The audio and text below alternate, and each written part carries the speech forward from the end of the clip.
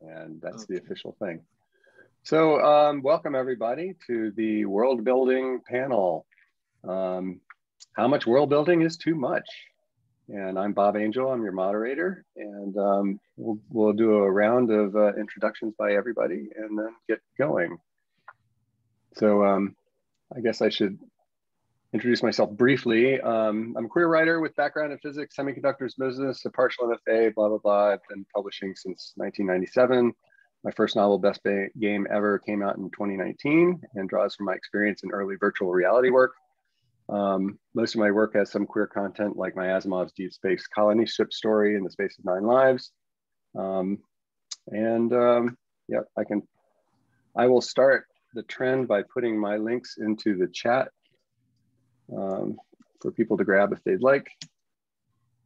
And, uh, and we'll, we'll move on. So how about um, Monica? Hi, everyone. I'm Monica Louzon. I'm a writer, editor. Uh, I am acquiring editor at The Dread Machine, and I'll put a link to the chat. And there we have an anthology call that closes tomorrow night at 11.59 p.m for stories themed with uh, security, identity, and or community.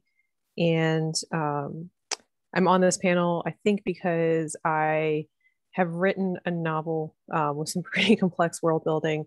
It's currently in the editing beta reading stage.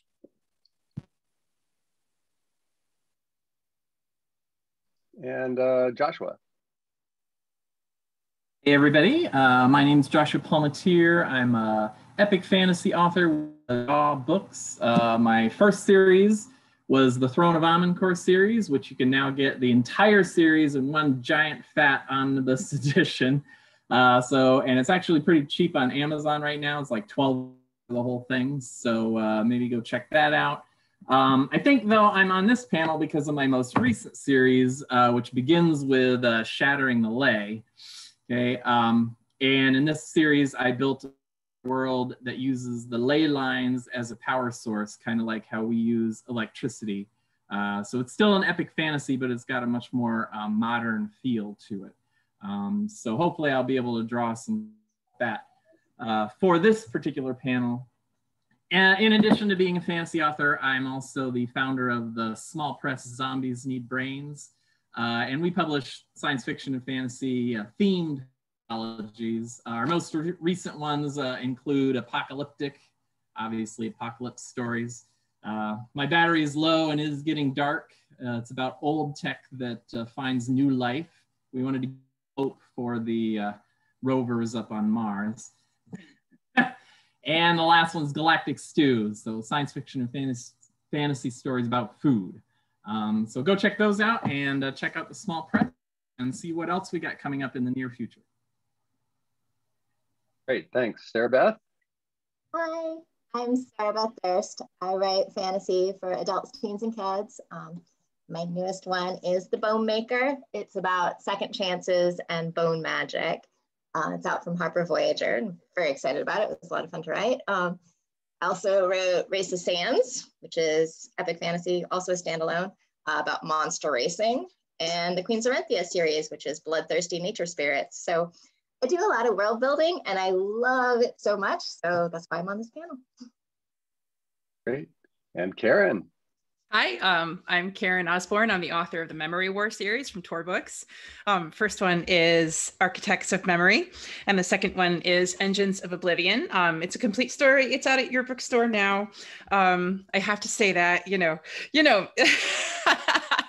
anyway, I have other things um, at Uncanny and Fireside and the Beneath Ceaseless Skies and here and there and everywhere.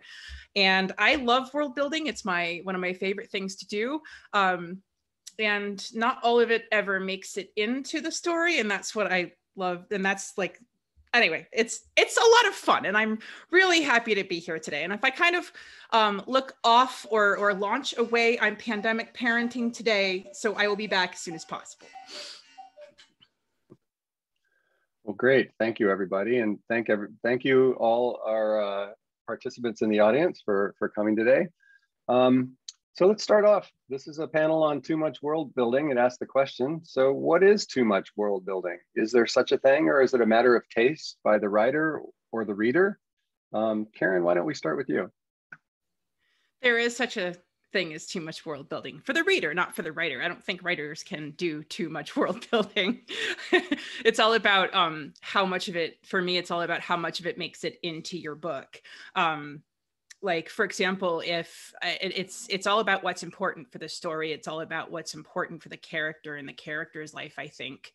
Um, i know whenever i do um, i write primarily science fiction right now um, and most of my science fiction is character based and doesn't have to do with like ftl drives or stuff but you know so they get from place to place in an ftl drive. Um, i know how it works but the reader doesn't really have to if that's not what we're doing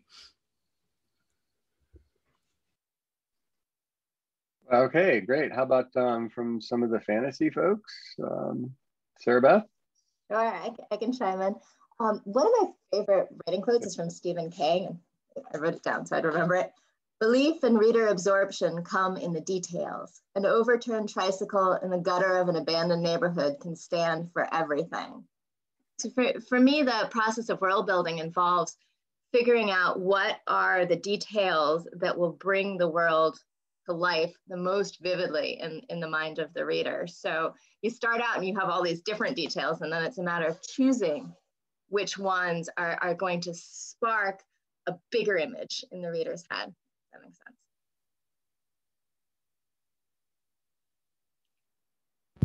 Who wants to Here with that. jump up there? Josh?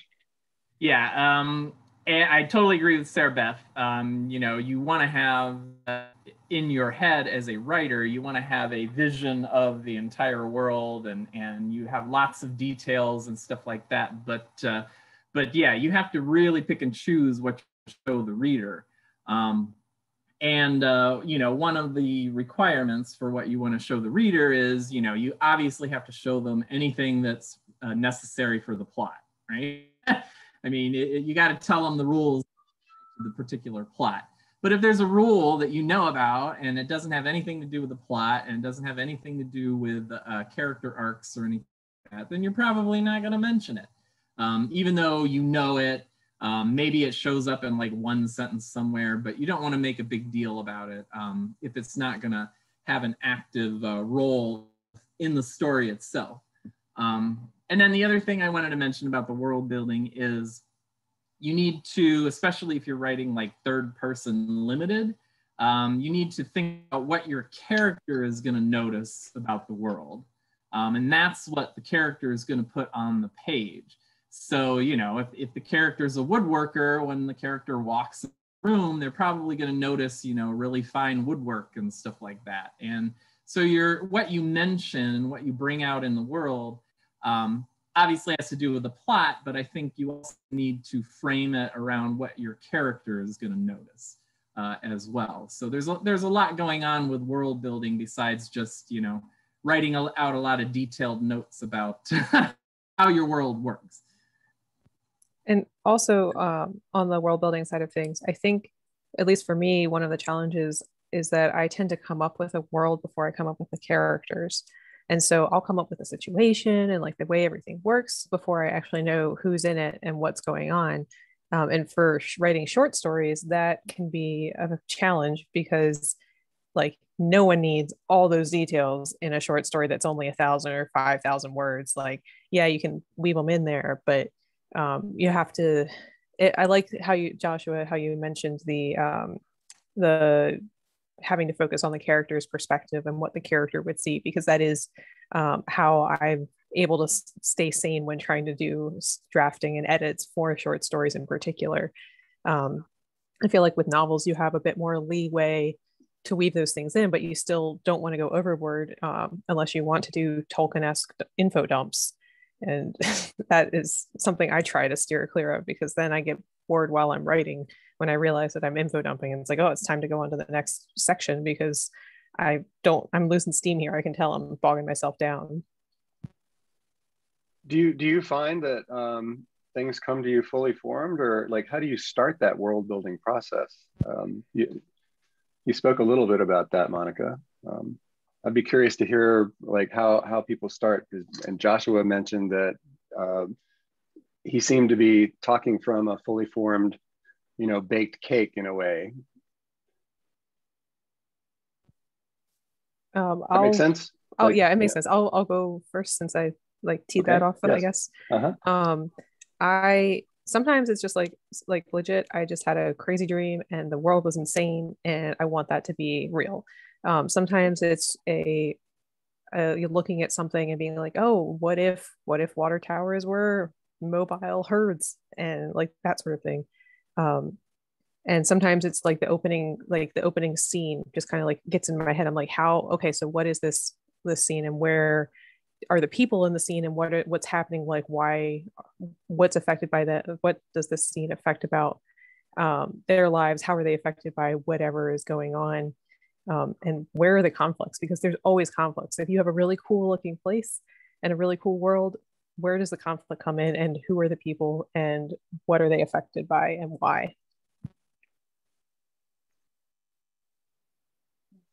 Yeah, for me, Yeah. yeah, the same thing for me of conflict. It's also for um things that, you know, forces. I look first for forces that work on the character. Um social forces, economic forces, um right down to what they eat and what they drink and like what store are they going to go to um you know who has power in their life. Um anything that is going to sort of like work on the character even not in the story but not even in the story because some of the times you're going to come up with all of this cool world building that just doesn't have a role but it has like maybe a tiny little role in what they put on in the morning. And that's enough because it it makes your world a more rounded place um but yeah i like i like forces working on the characters and starting there My my favorite thing to do with world building is to start with one decision.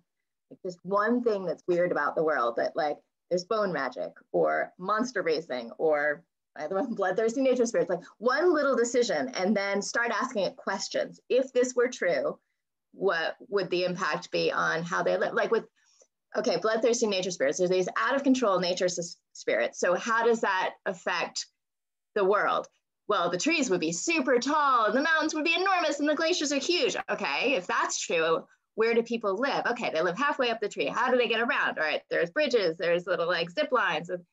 You trace it down through all the different aspects of, of the world, down to like, you know, what people wear, how they react. And I love doing it this way because it creates uh, an organic world where all the pieces um, feel natural, feel like they belong together and, and they, they cling together. So I, I do that a lot with, with creating my worlds. Um, sometimes I just, I will start, I'll open a Word doc and I'll write things I think are awesome and then put a big monster list of things I think are really cool.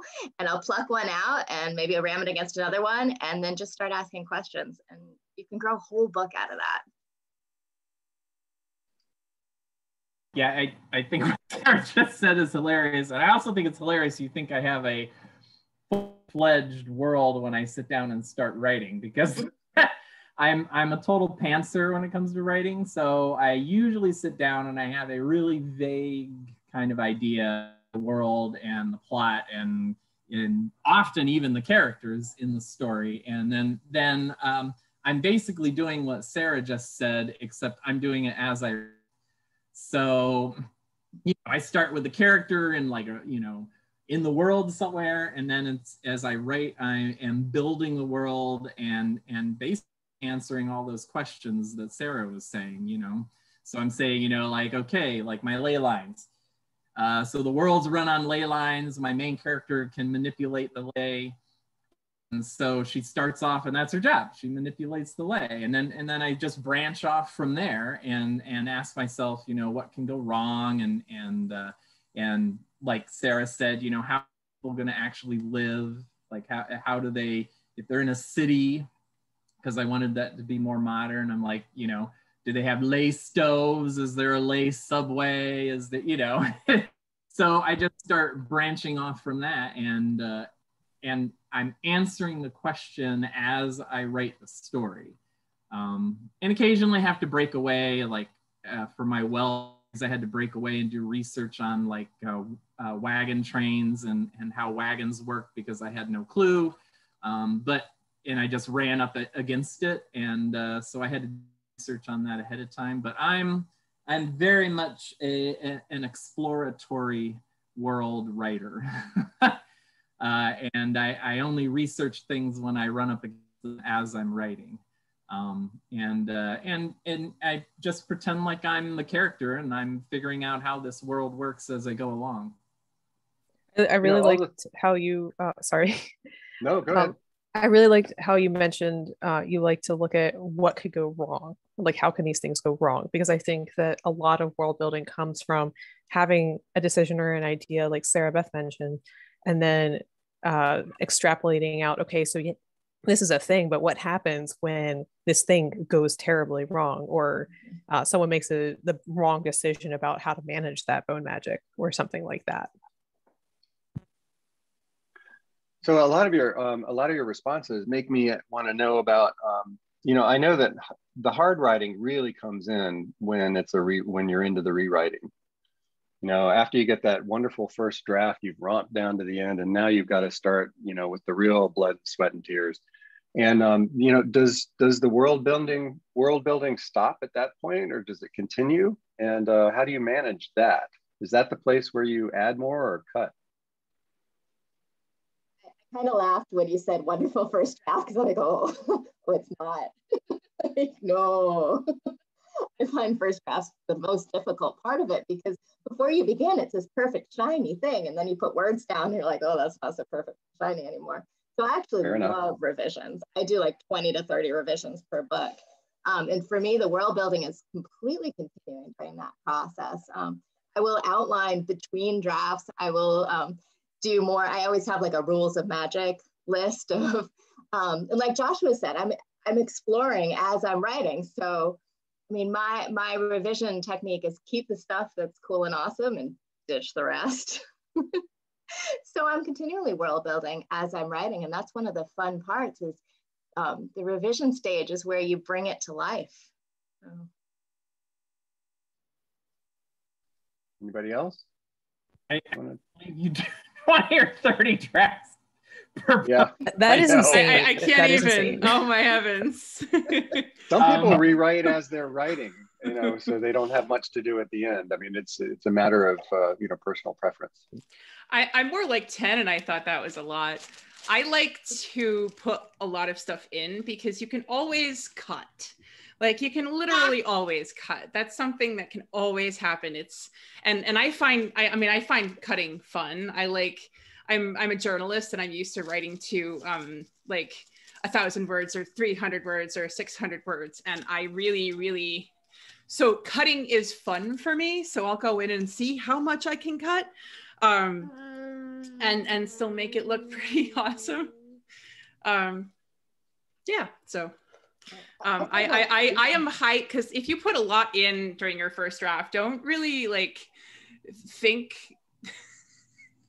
I'm trying, folks. I'm trying. like you're doing great, Karen. if you um if you uh if you put a lot in your first draft, like I used to feel really annoyed that I would put a lot in my first draft because um I would, you know, it was a lot more work, but um it's fun. Cutting is fun. Try it. Cause um it yeah, I can't get a sentence out. I'm sorry. it's okay. I was gonna say that that you have to figure out what works for you as a writer. Um, because I like I my first draft is usually pretty clean, and so when I'm revising, um, I, I'm usually adding, and what I'm adding is things that now that I know the full story and I know exactly where it's going and I can go back and say, okay, I need to flesh out this rule of the world a little more because it actually became important. You know, I, I thought it was not. And by the end, I was like, oh crap, you know, the whole story, you know, hinges on thing uh, that I mentioned at once in chapter two. Uh, so, you know, I go back and I, will build that up uh, and make that more important and then of course there is some cutting because um, you go back and you well, I had this whole subplot that went nowhere, so uh, so let's cut that subplot out and stuff. Um, but I, I know lots of, of writers that, like for example, um, I believe Kate Elliott she did this, and I know Gerald Brandt just recently said that he did this, where he writes and he doesn't really do any description or any of the hardcore world building as he's writing. He does that during the revision. Um, I don't know how that works. I can't do it that way. um, I mean, the description and exploring the world is kind of the whole point of me writing in place. So I'm doing all of that as I write. So usually, worst case scenario, I'm cutting things, like Karen said. I'm going back saying, you know, I just spent five paragraphs to this thing. I need to get it down to one, uh, something like that. Um, and part of it depends on your editor too. Like if you've sold the story, um, DAW uh, editors are noticed for saying, we want more, we want more, we want more. so often when I'm revising for my editor, I'm going through and saying, okay, I got, I gotta, she wants me to build up aspect of the world a little bit more. So, uh, so sometimes it's a request from someone else. I did want to mention that it seems to me that the trend is now to write tighter, less uh, involved world building stories whereas you know 20 years ago we wanted the mega thick volume where you told everything there possibly was about the world. So i think there's also a, a reader shift going on uh, that kind of dictates how much world building you can and get away with it Well, you can still keep the world building. You just got to like shove it in under the hood a little bit here and there, which is fun for me. Um, for for my first draft of the this novel that I'm editing, um, it was I ended up throwing out almost all of the first draft except for like one scene where I then took those characters and in future drafts turned them into the primary focus of the novel. Um, and it was I've like I've got plenty of stuff saved in another document now. It's like, oh, this will be a separate magic system because I already have two different types of teleportation and I have a failing oligarchy and we don't need to have all of these extra characters and other things that detract from the main focus of this story's plot. I um I actually, well, I do love cutting things, but I, I, I adore dialogue. So I'll sometimes write scenes where the characters are just bantering away, bantering away. And then I use brackets a lot to leave myself notes. I'll put a bracket like, they need to be somewhere or like something needs to be happening. They can't just be like snarking their way through a whole scene. I love, but they need to be doing something. so I think that this, um, we've all been sort of uh, saying, and I'm going to flat out say, you don't have to know everything when you start out it's cool if you do, but you don't also, you also want to be careful of not falling down that rabbit hole of building this beautiful, beautiful world with all these details that you know, like how the plumbing works and everything. And then you never tell the story. Because if you don't tell the story, no one's going to get to enjoy this beautiful world that, that you've created. So sometimes you do need to just stop with the world building, tell the story, and figure out the stuff later. And that's completely fine. Um, you can do the world building at any stage of the process. It needs to happen at some point, but any stage is fine. There's no rules on that. Are there are there different ways to do world building, or are there different um, you know different levels of genre, like or science fiction, fantasy, horror, um, or, or flash? Are there different different requirements for world building and all of those? As many as there are writers.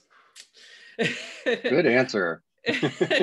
like I um it, a lot of it depends on how much of the nitty gritty you know you want to you want to get into and what kind of story you're telling like um like my books are really fast um one of the things we did was um as as joshua said one of the things we did in editing them was take out, take out, take out, make it faster, make it faster. And just when I thought I couldn't make it faster, I discovered that I could, which was fun because I had to take out some of the little details and find different ways of um, showing them. But um, it, it's all about how detailed you want to get because um, you can do like hard science fiction and you can get in there and go, okay, like I have to learn exactly how like an Alcubierre drive works because uh, otherwise you know nothing else works i mean andy weir does that with the martian um, or you can be star wars and go, hey, I have a lightsaber. I don't know how it works, but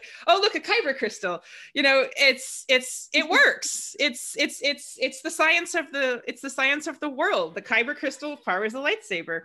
Um, as long as it's internally consistent, um, it doesn't really even matter um, kind of where you are in the spectrum as long as your work works with itself. Excuse me. yeah, um, I, I, think it also de depends on style, voice, and the age that you're writing for. Um, I write books for, for all ages. When you write for kids, it's often going to be the first time they've encountered this concept, the first time they've gone with you on a quest, the first time they've walked into a parallel universe, the first talking animal they've ever bonded with. And so you have to explain in a way that you don't when you're writing for an adult reader. When you're writing for adult reader, you're dealing with a different set of issues in that they come with all sorts of expectations for what way you're going to do it. And you have to make the choice whether you're going to fulfill those expectations or subvert them, both of which are super fun to do. Um, so there should be an awareness of, of the style, um, the audience, the voice, and most importantly, the story.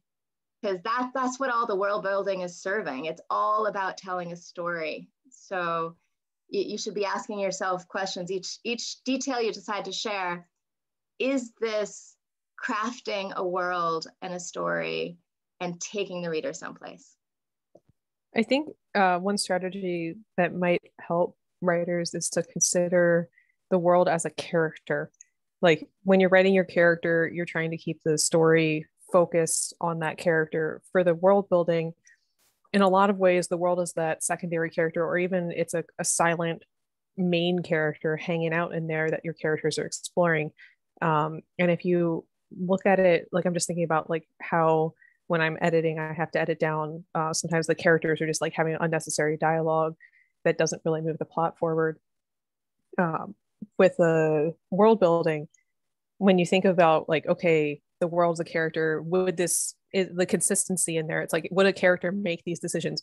Is this rule in the world with how the magic work? Is it staying consistent throughout, or is this technology being consistently pre- presented and used by people? And, and if not, what's the logic behind it?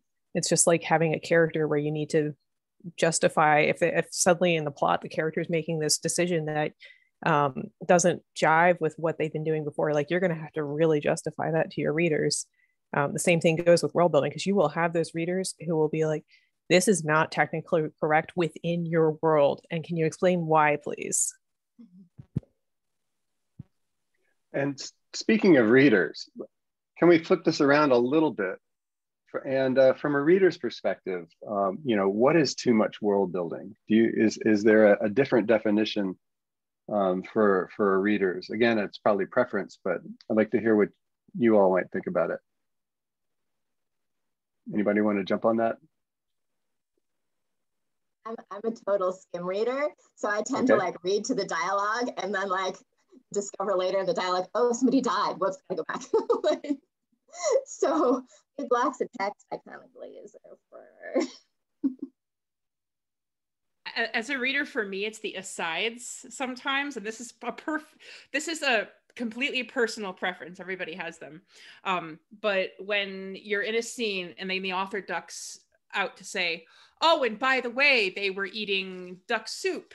And this is the best duck soup in the area, and this is how it's made. And the um, and the scene is about um, and the scene is about uh, like talking over politics or something. Um, so the asides are not something I can I can I really enjoy. Yeah, I totally. the hilarious like footnote ones. Like I love that. oh yeah, it, it does depend on the author's style too, because like some of those footnotes are really distracting for certain authors' styles.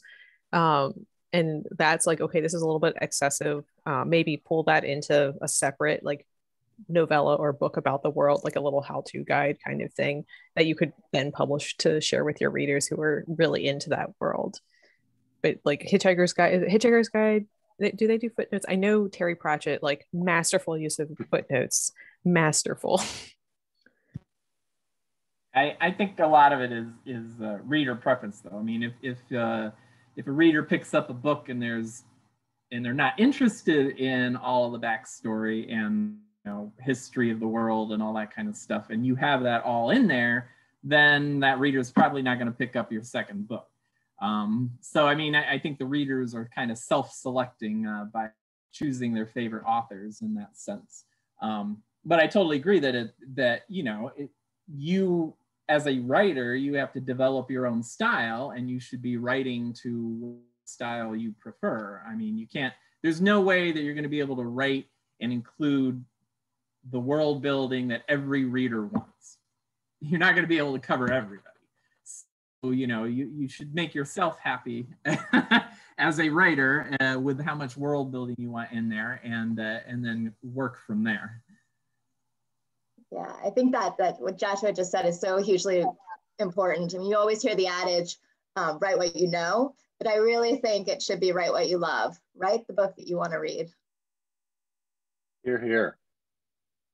So I uh, I wanted to ask um, uh, Monica a question. Monica, I know you write poetry, and I'm wondering if world building and poetry is uh, a, similar kind of thing, or is it different, or is poetry raw, raw world building all in itself?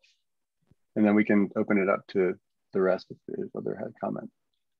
That's a very good question. Um, I think it depends on the type of poetry. Um, because when you if you especially if you're writing speculative poetry there there tend to be a lot more poems that are uh, like a story encapsulated in those few lines with just very vivid word choices and um, verbs and just like every word packs a punch.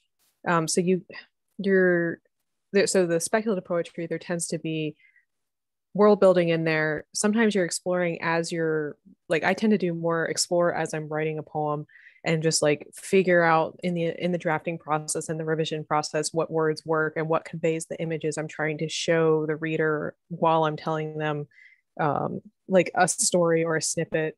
Um, for I and I've I've actually I ended up joining the science science fiction poetry association because I was finding that my what I define as speculative poetry isn't necessarily what other people consider, like in the genre fiction world, tend to consider speculative poetry. And I found it very fascinating how some some poets do the same kind of strategy I do, or they seem to based on what their finished poems look like. And then there are some who set out with like, I want to tell a story in this world, and it is just like a story with the rhyming or the poetic structure, the traditional poetic structures. Um, I think some of my favorite speculative poetry techniques that I haven't tried yet are the mirror poems where you can you read them and they can be read from top to bottom, bottom to top, left to right, or like that second column can be read first and then the left column, like the original column can be read first. Um, and there's a lot of world building that goes into that because you have to, but it's more like, I think it's just more, much more precision in language. Um, which is it's just like very it's very fascinating. um, does that answer your question? I can try to rephrase or oh yeah, that's clarify. fascinating. Okay. Yes. Anyone else want to comment on that before we open it up to some questions on the floor? I just think that mirror poetry sounds really hard. yeah, yeah, it's it crazy. It it's yeah, it, I haven't heard of that before. Yeah, there's um if I'd have to pull out my issues of Starline, but they there's usually um, some poetry issues or uh, about one per issue or every other issue. There's at least one solid mirror poem in there. That's so awesome. Starline. It seems really yes. hard. Okay. okay. I'll have to check that out. So um, we have a few questions um, that are up in the Q&A.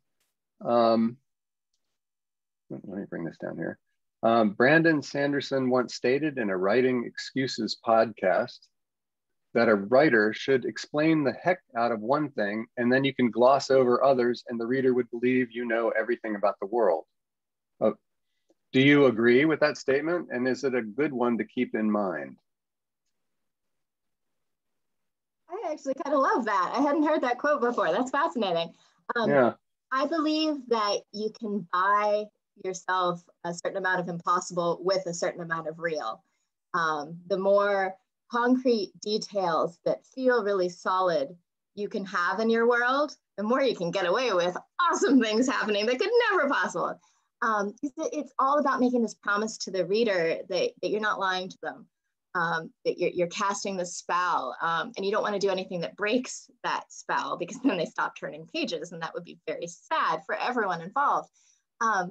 So I think there, I don't know if that's true all the time, but you can certainly approach it that way. You don't have to know everything, but you have to be confident in what you do know and what you do present to the reader. And, and it should hang together and feel true. I think that's it. Yeah, it, it has to feel true. It doesn't have to, to be factual, but it has to feel true. I, I think you have to have there has to be that scaffolding that is well established that you are prepared to argue out until the person like who's nitpicking your logic behind it. You have to be able to argue that out with to the point where they're satisfied or till they get tired of arguing with you about it because they they realize like oh you've thought about this and this and this and this. And then you can but like so like for me i have the two different types of teleportation. So i have i can go on about how each one works why each one's different what the rules are what like how they each evolved. And like that's not necessary to show the reader entire like all those details and all those explanations. You don't necessarily need that when you're reading it.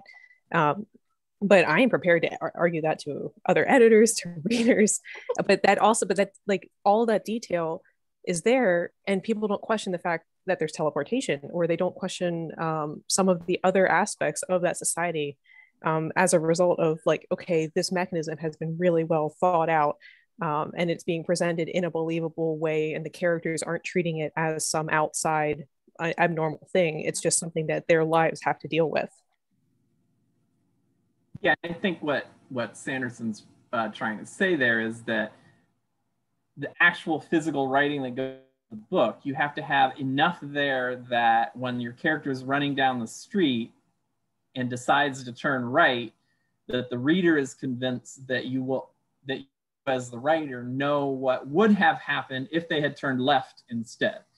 And so I think Sanderson is trying to say you have to put enough into the book to get that feeling across. Like Sarah said, you got to be convincing. and as long as you're convincing then then yeah you don't need to say what what what on the street to the left.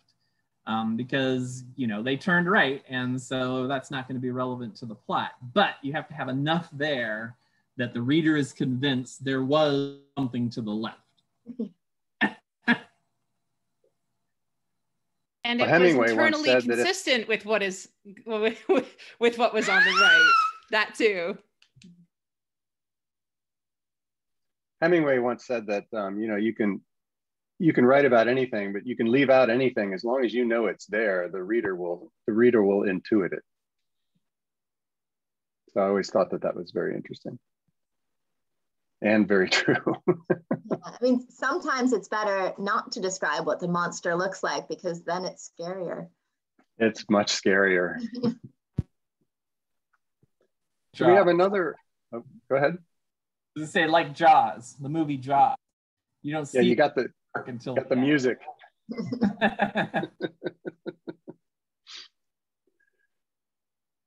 so um, uh, we have a, another question related to world building. How much backstory do you create for characters, protagonist, antagonist, minor characters, uh, before you start to write? Do you need to have the antagonist's entire life story in your head before you begin a draft, for example? I'll, I will jump in real fast on that one because I think I've got a pretty short answer. Um, I do a lot better when I don't have that all figured out. Like when I have the situation, the character and their situation that they're in and the problem that they're facing, I will start writing. Um, if I I used to try to do the um, the character sheets and like have all that stuff planned out in advance, and I would just end up uh, tiring myself out because I'd come up with all these details and all this backstory and then i had lost my forward momentum for actually writing the story. Yeah, the, the only thing i figured out is for every character in there that has a speaking role i write down their name and i write down um, what they most want in the entire world and what they most fear. And really that's that's all you really need is that like core thing. And whenever i get lost on a character i come back to that want and fear and, and it propels them forward um, unless I'm writing my book about with like lots of talking animals, and then I have to decide like which kind of animal they are and how much fur they have and so forth. and I am here to assure everyone in the audience who is like, I don't know any of this stuff, that um, it's okay if you don't. Okay, honey. Um, it's okay if you don't because um, I didn't know who the antagonist was in Architects of Memory until I finished with the first draft. I wrote it as like a as like a people versus space, like man versus environment story. Um, and it was missing something, and I'm like, okay, what is it? And I looked at the story, and I'm like, oh.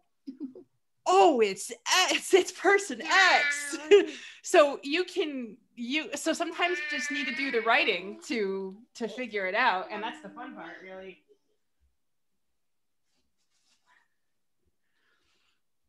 Yeah i i would say i don't i i don't have anything on the backstory of the characters uh, figured out ahead of time because i'm exploring.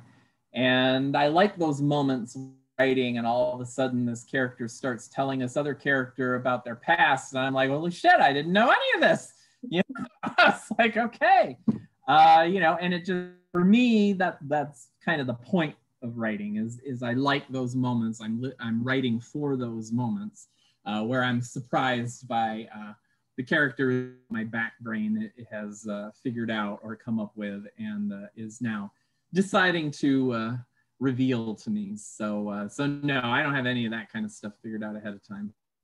It does it does come in in the writing. I mean, I always approach it that obviously every character does have a backstory, and that the world itself has a backstory. I love layering and the folklore and the legends and the history of the world itself. Um, I think it was Monica that was saying that you, you can treat your world as if it's a character. Well, the world has a backstory too. Um, speaking of um, that, do, do the physical characteristics of your world affect your writing?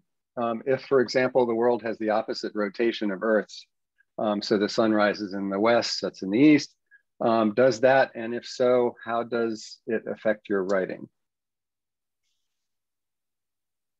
Huge, yes, yes, huge. I mean, every every decision you make about the world, in order for it to feel real and true, it, it should trickle down through the whole society, through the it affects everything. I mean, just think about like alternative history. You tweak one thing, step on that butterfly, and the world feels different. The same is true in secondary worlds. Whatever decisions you make are going to trickle down through its history and affect the characters and affect the story. And it's a wonderful thing because stories can arise out of those differences and out of those decisions and it also creates uh, like the characters the folk stories or the tales that they were told growing up uh, so that affects like your world building having that one straight like detail where the sun rises on the other side. Like there's a whole mythology that can come up with that that would be possibly completely different from like what we have for earth uh, in different cultures or and, and also like it ch- affects the cultures like the different cultures that you include in your world and like how they perceive those things as well the and it can affect your oh sorry i'm sorry go ahead. I was going to say that that um there are when you're writing there are certain things that uh that will world building like the the series i'm currently writing um the characters don't know what the history of the world is but of course i do. And and the knowing that history, I, I as the writer am plugging in all these little hints to the reader about what the actual past of this world was. The characters are like oblivious to it because this has always been their world, and as far as they know, this is how it's always been. And uh, so, so knowing things about the past uh, of your world is definitely going to affect uh, your writing and what you're revealing and all that kind of stuff, even if the characters are totally obvious. Um, so uh, keep that in mind. I, I like how it can affect your style as a writer. Um, I'm writing a lot of claustrophobic, like man versus environment space stories, possibly because it's a pandemic and I feel like I'm trapped in my house. So sometimes, yeah, it's funny, isn't it? Good for spaceships. Um, uh, yeah. So so so spaceships. So um, when I'm writing those, it trickles down to what the people say. Everyone's claustrophobic. Everyone's on top of each other. Everyone's just like, you know, so they might talk a little shorter. They might talk a little um, more pointed. They might not want to have massive, huge conversations with each other. And when you do get into that lovely, flowing, lyrical stuff, it's more of a it's more of a oh something's happening here and you can work that into your world building and and really make the reader notice um, so i really like that kind of thing so there's um that that sort of begs the question that someone has put up in the q&a also um, about like you know all of this world building that we've all done. Um, how do you organize all of it? How do you organize the material in your world? Do you stick it in a notebook excel? Do you, do you put it in a computer notes? Do you throw it in Do- dropbox I have, yeah, everyone's got different yeah. systems for it. I have, uh, as I'm like just thinking about this question, I'm like, oh, I actually should maybe have like a OneNote database, but I don't even have any of the Microsoft suite. Um, I, for my novel, I have stuff organized in categories in Scrivener. And then I know I've got uh, handwritten notes, but I'm like, I'm very bad at using one single notebook. So I have to go through and compile regularly and make sure I haven't hidden details in this pile of notebooks that really need to be in my one world building notebook. Um, I do try to use tabs in like the post-it tabs so I can find things easier. Um, and I know I think it's Staples. They have these these notebooks where these spiral notebooks where you can remove a page and put it back in somewhere else in the notebook. And I discovered this recently, and I really I'm like, man, I think I need to do that once I when I'm going through my next revision for this. Um, but I really like the like the the way my brain works, it's really nice to be able to write something and then modularly move it around into different sections or move the little section dividers around in a notebook. Yeah, I, I just have folders on my computer, one called research, one called thoughts. Mm, that's it. Does anybody I, use something like Scrivener or, yep. I, yeah, I use Scrivener. Um, okay. I open up a whole thing for my, um, for my novel, and I have tons of uh, different uh, different sorts of um, folders and things. And I keep the story in one side, and the other side is open to whatever notes I need. So like chapter three notes, chapter four notes, um, and I'll often just put things down like. Um, oh, Natalie likes the Smash Boys or something, or she likes this song. I, I know. Here you go, baby. Um, she I likes like the Smash PR Boys or she likes um, something like that so that when I need it, I can come back and get it and it's in the chapter I want it to do. So yeah. Scrivener is great. The Just notebook. make sure you back up, back up, back up, back up, back up. yeah, I just have a Moleskine notebook and I jot things down in there. Um, but I have to have to admit that I'm very good at it. like I usually end up putting down the name and I've got like air, uh, eye color and hair color and stuff like that in there, and and then and then after that, like, well, I know this character said that they liked this, and it was sort of in this part of the book, and and then I forget to put it in the notebook, and then I then I have to go look a story, and yeah, it it's the notebook is only works so far for me. I think we're um, we're winding down toward the end, um, and uh, I wanted to to do uh, some wrap up and parting comments, and uh, I wanted to ask you all what are some great world building stories that you can recommend to our readers as we uh, as we wind up. Who wants to start? I'll go. I'll go, oh, go ahead, Carrie. Go. Okay. You go first. Um, currently, uh, Arkady Martine has a great duology right out now. Um, it's called A Memory Called Empire. Um, mm-hmm. And it's got possibly the most world building I've ever seen and the most well done world building I've ever seen. Like she just packs it in and you don't even notice. It's brilliant. Uh, I highly recommend N.K. Jemisin's Broken Kingdoms trilogy. Um, those are like the world building is absolutely gorgeous it's very immersive and once you start reading it's really hard to put it down and you don't even realize how much world building is being unpacked unless you start questioning oh how much world building is in here and then you're like oh my gosh so much Um, I guess I'll throw in uh, the book I'm currently reading. I'm I'm not to it, so I don't know where it's going to go. But uh, so far, the world building has been amazing. It's um, called The Velocity of Revolution by um, uh, Maresca, and uh, it's uh, it, it's it's very interesting. The world that he's building up and creating has been very interesting. So I'll throw that one out there. Having that moment where I'm like, what books have I read? Have I read any books? Oh my gosh. so I'm like looking around there. Um, I just read Light of the Midnight Stars by Rena Rossner, and I thought that was one that beautifully tied um, style and voice to the world building that's done in it. Um, I also really love The House in the Cerulean Sea by TJ Klune because that was just like adorable world building. it's just really cute so, and charming. Um, and of course, I have to always mention The Murderbot Diaries by Martha Wells because they're amazing. yeah. I um I have a couple. Um, I'm currently reading, or we just finished Too Like the Lightning by Ada Palmer. It's crazy world building in there. Some we did a book club on it, and uh, some people said it's too much, and other people said, well, it's not enough. But there are a couple more books. Um, I'm also reading our Katie Martin's um, um, wonderful memory, um, uh, not the memory, but the um, the the Empire, and um, also Karen Osborne here.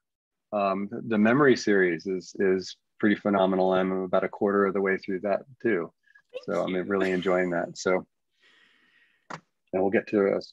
So um, I want to thank you all very much for um, for taking part in this. Uh, it was this was a great panel. I've loved having you all here, and I hope our uh, audience. I know our audience did as well from the the all the stuff. So I think we're just about out of time.